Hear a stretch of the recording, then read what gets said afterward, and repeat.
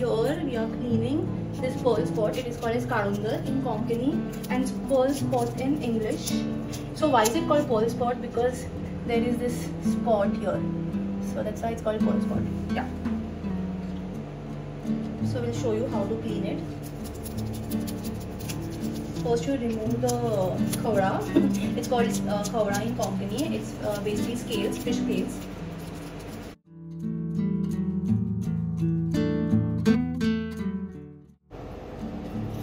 the fins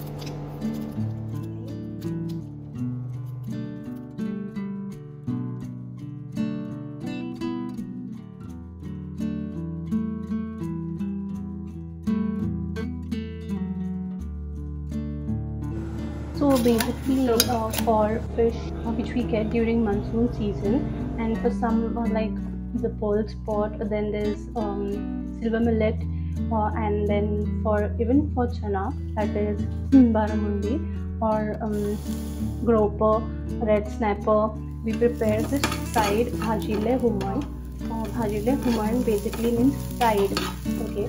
So what we do is we dry roast the ingredients like for such uh, type of curry. Uh, we dry roast coconut uh, onion uh, red chilies and um, the coriander seeds the and uh, fine paste is made out of it. Uh, onion is sorted and then this paste is added on that.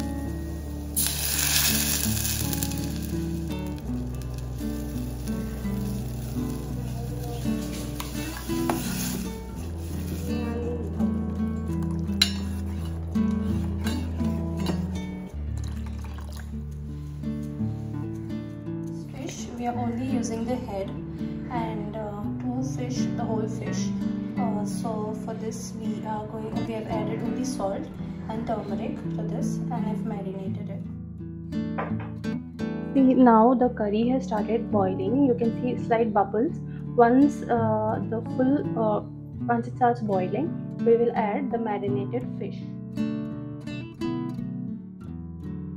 now that it has boiled completely we are going to add the fish in it.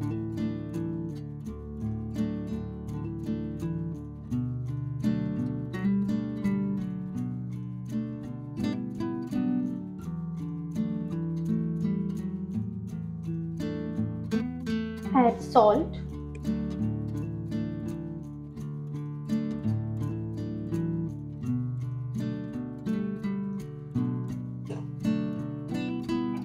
mix it gently.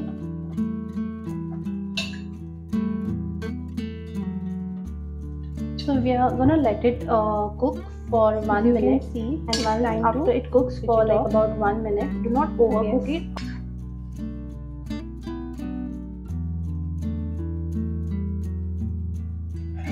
And the curry is ready. You can have this curry with um, rice and fish with rice, roti or anything. I like to have it with steamed rice and some fried fish. So we received Fido's parcel in the morning. Uh, I had ordered some uh, gravies uh, for him. Uh, this is from Meat Up. This is for especially for the skin and the coat, and this is his favorite. He doesn't like the pedigree that much, but this one is fav- his favorite, and it had some nice offer on Amazon. So yes, that's it about it.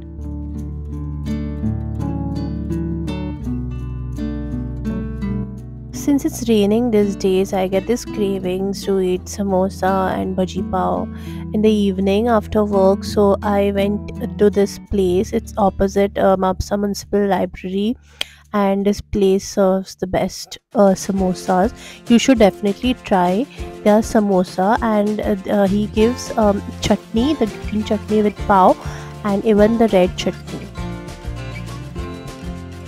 after that, we went to Saligao to try this most hyped ice cream.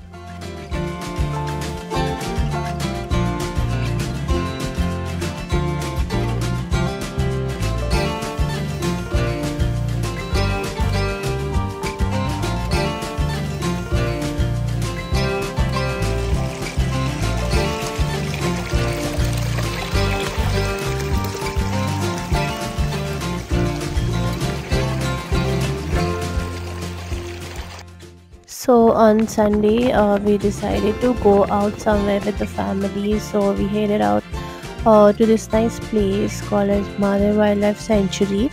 They have this sanctuary, but basically there are no uh, real animals inside. So there are uh, figures of these animals since there are no uh, real animals. There's figures of tiger, the national, uh, sorry, the state animal of Goa, state um, bird of Goa. There's a state tree inside uh, this sanctuary, uh, and this uh, this was a fountain, which was an artificial, uh, you know, waterfall outside uh, the sanctuary, which actually depicts the uh, real vibe of this place, where there are you know tiny waterfalls. Around this area. Uh, so there are uh, small uh, bo- boards that are uh, put up with all the information about the different types of animals that are found in this region. So it is very um, you know uh, very versatile. So there's every detail about uh, each and every animal. Uh, the birds the types of snakes the types of trees that are found in this region so in case you are coming with your child or if there are any um kids in your family you should definitely uh, definitely get them here as it can be a very uh, you know informative tour or informative place to visit.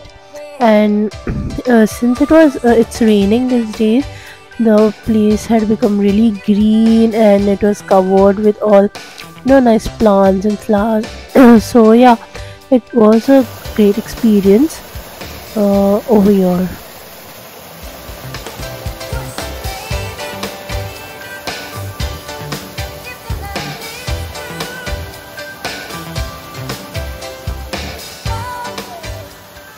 So the next morning, I went out for breakfast at this cafe in Asagao. It is called as um, Black Vanilla. Uh, so they have this cafe cafe set up in Asagao, uh, and it's inside a nice uh, old Portuguese house, and it's really maintained well, and the ambience is so good. Feels like a Goan home and you know very homely so i had some coffee uh, like some cold coffee and some pasta pizzas so they have an extensive menu.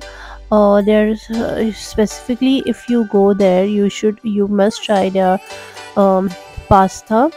Uh, their english breakfast okay and these are some of the specialties. Uh, and i loved their pasta to be honest. And these waffles are really famous here so you should definitely give it a try. And so uh, this is the barbecue pizza. It's a thin crust pizza and it was really good.